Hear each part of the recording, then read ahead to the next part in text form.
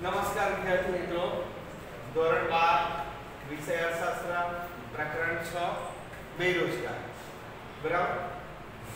હવે આ પ્રકરણમાં બેરોજગારીની વાત કરીએ તો આપણે એની આગળના પ્રકરણની અંદર ગરીબ વિશેનો અભ્યાસ કરીએ વ્યક્તિ ગરીબ ક્યારે હોય?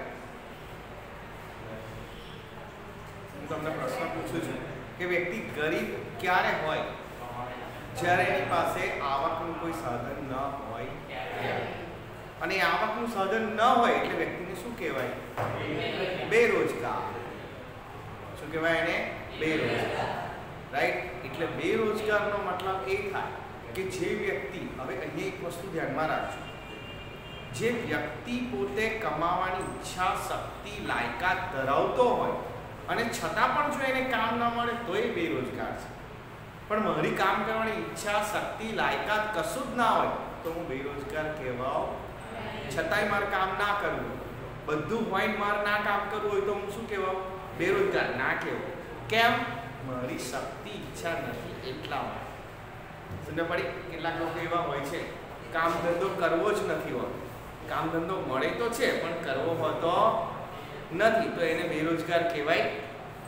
એ એની જાતે સ્વીકારેલી પરિસ્થિતિ છે. રાઈટ ધ્યાન આપજો. પ્રસ્તાવના વિશેની વાત કરીએ આપણે. વર્તમાન સમયમાં વિશ્વના ઘણા બધા દેશો ગરીબી, બેરોજગારી ફુગાવો અને મંદી જેવી અનેક આર્થિક અને સામાજિક સમસ્યાઓનો શું કરી રહ્યા છે? સામનો કરી રહ્યા આ બધી આર્થિક સમસ્યાઓ છે. કઈ કઈ? કઈ આર્થિક સમસ્યાઓ છે? ગરીબી, બેરોજગારી ફુગાવો અને મંદી. આવી બધી આર્થિક સમસ્યાઓનો ઘણા બધા દેશો સામનો કરી રહ્યા છે. આ સમસ્યાઓએ વિશ્વમાં આજે ચિંતાજનક પરિસ્થિતિ ઊભી કરી છે. રાઈટ આ સમસ્યાઓમાંથી બહાર નીકળવા માટે દરેક દેશ પોતાની રીતે સતત શું બનતા હોય છે?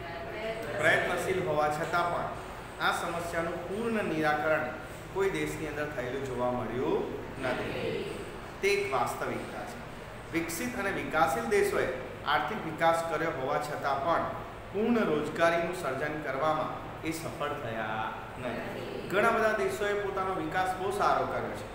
પણ હજુ પણ એ દેશોમાં ગરીબીનું પ્રમાણ, બેરોજગારીનું પ્રમાણ આજે પણ હલ થયું નથી.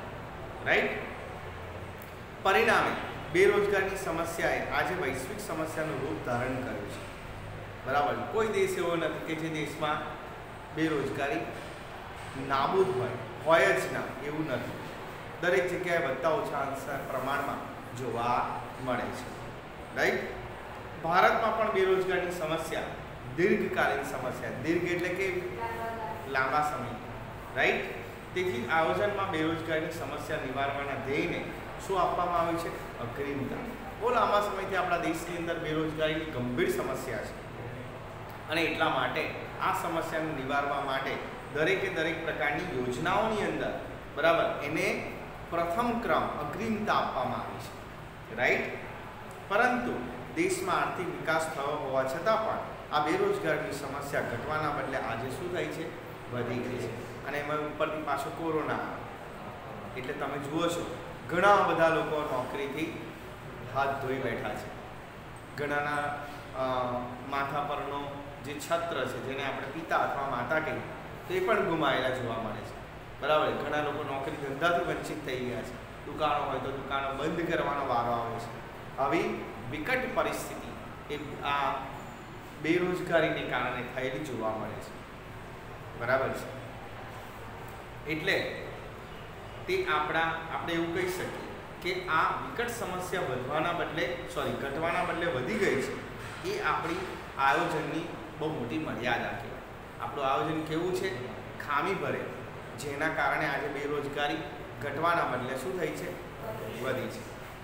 વિકાસશીલ ભારત દેશમાં એક તરફ ઊંચો વસ્તી વૃદ્ધિનો દર અને બીજી તરફ અપૂરતો આર્થિક વિકાસ થવાને કારણે બેરોજગારીની સમસ્યાએ વધુ ગંભીર સ્વરૂપ શું કર્યું છે? ધારણ કર્યું છે. એક તો આપણા દેશની અંદર વસ્તી વૃદ્ધિનો દર ઊંચો છે અને આર્થિક વિકાસનો દર નીચો છે. એટલે સ્વાભાવિક છે કે પેલો જે જે જૂના જે લોકો છે, એમને તો રોજગારી અપાય જ ના હોય ત્યાં પહેલાં તો નવા આવી જાય છે. પછી વિકટ સમસ્યા બને કે ના બને? બને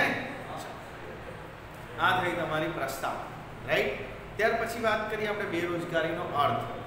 સામાન્ય રીતે બેરોજગારી એટલે કામ કરી શકે તેવી વ્યક્તિની કામ કરવાની સ્થિતિ, યાદ રાખજો. કામ કરી શકે તેવી વ્યક્તિની કામ વગરની સ્થિતિ. એ એટલે બેરોજગાર. કામ કરવાની ઈચ્છા હોય, શક્તિ હોય, કરી શકે એવો હોય. અને છતાંય કામ ના મળે તો એ બેરોજગાર છે. પણ કામ કરવાની ઈચ્છા ના હોય, શક્તિ ના હોય અને એ કામ ન કરતો બરાબર છે? તો એને બેરોજગાર કહેવાય નહીં. બેરોજગાર માત્ર શ્રમિક જ હોય તેવું નથી. પણ ઉત્પાદનના અન્ય સાધનો પણ બેરોજગાર હોઈ શકે છે. ઉત્પાદનના કેટલા સાધનો છે? જમીન મૂડી શ્રમ અને નિયોજન. આ ચાર પૈકી કોઈ પણ સાધન બેરોજગાર હોઈ શકે છે. પરંતુ સામાન્ય રીતે બેરોજગારીને માત્ર શ્રમના સંદર્ભમાં વિચારવામાં આવે છે. આપણે કોના સંદર્ભમાં વિચારવાનું છે? કારણ કે શ્રમ વગર બાકીના ઉત્પાદનના સાધનો કામ લાગતા નથી. રાઈટ? યંત્ર આપોઆપ કામ કરશે એને કોની જરૂર પડશે? એને ચલાવવાવાળા વ્યક્તિની માણસની એટલે એ શ્રમ છે. રાઈટ તેથી અહીં આપણે શ્રમ, શ્રમિકને લક્ષ્યમાં રાખીને બેરોજગારીનો અર્થ સ્પષ્ટ કરીશું. કયું ઉત્પાદનનું સાધન? શ્રમિક. એ શ્રમિકને ધ્યાનમાં રાખીને એની વ્યાખ્યા આપવામાં આવી છે. પ્રોફેસર પીકુના માટે બેરોજગારી એટલે શું? તો કે કોઈ વ્યક્તિ માત્ર ત્યારે જ બેકાર કહેવાય છે કે જ્યારે તેની કામ કરવાની ઈચ્છા હોવા છતાં પણ એને કામ મળતું નથી. યાદ રાખજો. વ્યક્તિ આપોઆપ કામ કરવાની ઈચ્છા ન ધરાવતું હોય, તો એને બેરોજગાર કહેવાય ના કહેવાય. બરાબર? આળસુ કહેવાય. શું કહેવાય એને? આળસુ. સમજ પડી? નવરો ગુજરાતીમાં કહીએ અને ગુજરાતીમાં નવરા માટે એક સરસ મજાનું વાક્ય છે. નવરા બેઠા નખોદવા સમજી ગયા? એટલે આવું કરવું નહીં. ચાલો. ટૂંકમાં બેરોજગારી એટલે પ્રવર્તમાન વેતન દરે જે વેતન દર ચાલતો હોય એ વેતન દરે પ્રવર્તમાન વેતન દર જે વેતન ચાલતું હોય એ વેતને દરે એ કામ કરવા માટે શું હોય? તૈયાર હોય. યાદ રાખજો બરાબર આ કામ કરવાની ઈચ્છા, શક્તિ અને તૈયારી હોવા છતાં જો એને કામ ન મળે, ત્યારે તે વ્યક્તિ શું કહેવાય? બેરોજગાર. દાખલા તરીકે અત્યારે રોજ એક દિવસના રોજના પાંચસો રૂપિયા ચાલતા તો એ પાંચસો રૂપિયા એને સ્વીકાર્ય હોય એની ઈચ્છા હોય એની શક્તિ હોય કામ કરવાની તૈયારી પણ હોય અને છતાંય જો એને કામ ના મળે તો એ શું કહેવાય? બેરોજગાર. પડી ખબર? આગળ બેરોજગારીના ઉપયુક્ત અર્થ મુજબ પ્રવર્તમાન વેતન દરે વ્યક્તિની કામ કરવાની ઈચ્છા શક્તિ અને તૈયારી હોવા છતાં તેને કામ વગર રહેવું પડે ત્યારે આવી બેરોજગારીને અનૈચ્છિક. કઈ બેરોજગારી? અનૈચ્છિક બેરોજગાર. કે પછી ફરજિયાત સ્વરૂપની બેરોજગારી કહેવાય છે. શું કહેવાય એને? અનૈચ્છિક કે પછી ફરજિયાત સ્વરૂપની બેરોજગારી. તેવી જ રીતે જો વ્યક્તિની કામ કરવાની ઈચ્છા અને શક્તિ ન હોય અને પરિણામે તે પ્રવર્તમાન વેતન દરે કામ વગર બેસી રહે, તો તેવી વ્યક્તિ બેરોજગાર કહેવાય નહીં. કેમ? કારણ કે એની ઈચ્છા જ નથી. બરાબર? તો એને નવરો કહેવાય અથવા તો આળસુ કહેવાય રાઈટ ને? આવા વ્યક્તિને સ્વૈચ્છિક બેરોજગાર. શું કહેવાય એને? સ્વૈચ્છિક બેરોજગાર. જાતે જ બેરોજગાર બની ગયા. બરાબર છે? શું બની ગયું એ? સ્વૈચ્છિક. પોતાની જાતે સ્વીકારેલી છે. બરાબર છે? નવરો. આ મુજબ બાળકો, વૃદ્ધો. હવે આ વસ્તુ અલગ છે પાછી. યાદ રાખજો બરાબર પેલાની કામ કરવાની ઈચ્છા, શક્તિ, તૈયારી, સશક્ત બધું જ છે. જ્યારે આમાં આમાં એની ઈચ્છા, શક્તિ, તૈયારી આ બધું આવતું નથી. કેમ? કારણ કે બાળક છે. સમજ પડી કે ના પડી? વૃદ્ધ છે. બરાબર? અશક્તો છે. આ પોતાની ઈચ્છાથી કામ વગર બેસી રહેનારા સક્રિય શ્રમના પુરવઠાનો હિસ્સો ન હોવાથી એ બેરોજગાર ગણાય આ લોકો સક્રિય પુરવઠો નથી હવે સક્રિય એટલે કેવો? કામ કરી શકે. તમે અત્યારે કંપનીમાં કામ કરવા માટે લાયક છો? ના. ગવર્મેન્ટના નિયમ પ્રમાણે અઢાર વર્ષથી ઉપર ના થાઓ, ત્યારે તમે કોઈ કંપનીમાં કામ કરી શકો. નહીં તો બાળ મજૂરી ગુનો છે. તમને ખબર છે? એટલે બેરોજગાર ગણાય નહીં. એ રીતના વૃદ્ધ વ્યક્તિ છે ઉંમરલાયક ડોસો, ડોસી, આપણે એવું કહીએ. ઉંમરલાયક ઘરડા વ્યક્તિ. તો એ લોકો કામ કરી શકવા માટે સશક્ત નથી. તો એને બેરોજગાર કહેવાય ના કહેવાય. કારણ કે એ સશક્ત નથી એની માટે. રાઈટ એટલે આવી સ્વૈચ્છિક બેરોજગારી એ બેરોજગારીની સમસ્યા નથી. અને સમસ્યા કહેવાય નહીં. કારણ કે દરેક વ્યક્તિ ઘરડું થવું જ પડશે. અને દરેક વ્યક્તિ પહેલાં બાળક હોય જ.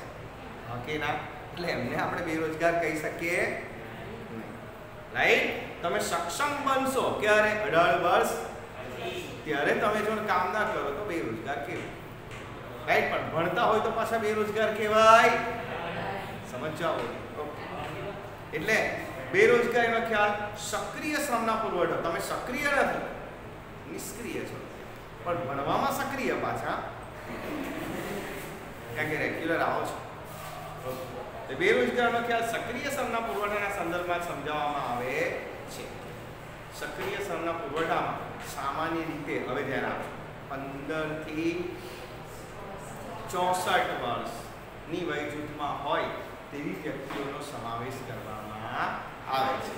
રાઈટ બેરોજગારીના અર્થની સ્પષ્ટતા પરથી કહી શકાય કે અનૈચ્છિક બેરોજગારી કે ફરજિયાત સ્વરૂપની બેરોજગારી દેશ માટે કેવી ગણવામાં આવે છે? સમસ્યા. કારણ કે એ લોકો કોઈ ઉત્પાદનમાં સહાય કરતા નથી. રાઈટ ભારતમાં પણ બેરોજગારી ગંભીર આર્થિક સમસ્યાનું શું કર્યું છે? સ્વરૂપ ધારણ કર્યું છે. જે વ્યક્તિ બેરોજગાર હોય એને અલગ અલગ પ્રકારના ખોટા વિચારો આવે ને? રોજ રોજ પેપરમાં જોતા હોય છે. આર્થિક તંગીના કારણે આત્મહત્યા કરીને મરી ગયા, ઘર કંકાસ થયો, ફલાણું થયું, તો એનું મૂળ કારણ શું હોય છે? બેરોજગાર. બરાબર ને? એટલે હું હંમેશા પહેલેથી કહેતો આવ્યો છું, નાણાં વગરનો ના થયો અને નાણે નાતા બધી બહુ તમને કહેવત મેં કહી કહી છે ને? કેશ હોય તો ટેસ, નહીં તો છાની માની બેસ. રાઈટ ને? બરાબર કેશ એવી વસ્તુ છે. બરાબર? કે જેનાથી આપણે કંઈ પણ પ્રકારની જરૂરિયાત સંતોષી શકીએ છીએ. એટલે બેરોજગાર વ્યક્તિ આર્થિક રીતે આશ્રિત હોય છે. બીજા ઉપર શું રાખતો હોય આ? આધાર. એને બીજા ઉપર આધાર રાખવો પડે. જેમ કે તમે લોકો બેરોજગાર તો નથી, પણ તમારે કોની ઉપર આશ્રિત રહેવું પડે છે? મધર ફાધર બરાબર? પણ ઘરનો કોઈ ગરીબ વ્યક્તિ હોય આવો તો એને પોતાના ઉપર અથવા તો બીજા ઉપર શું રહેવું પડે? આશ્રિત રહેવું પડે. જો એની પાસે પોતાનું કંઈક હોય તો સારી વાત છે. નહીં તો શું પરિસ્થિતિ થાય? તમને ખબર છે. રાઈટ એટલે સમાજમાં સ્વમાનપૂર્વક જીવન જીવી શકતો નથી. તેથી ભારતમાં બેરોજગારીની સમસ્યા એ માત્ર આર્થિક સમસ્યા નથી, પરંતુ સામાજિક, નૈતિક અને રાજકીય ક્ષેત્ર સમસ્યાઓ ઊભી કરી શકે છે. આપણા ઘરમાં પૈસા ન હોય તો કેવી પરિસ્થિતિ થાય? એનો અનુભવ આપણે કોરોનામાં કર્યો. એટલે તમને ખ્યાલ આવી ગયો હશે કે બેરોજગારી એ કેટલી ગંભીર સમસ્યા છે. ખ્યાલ આવી ગયો બરાબર?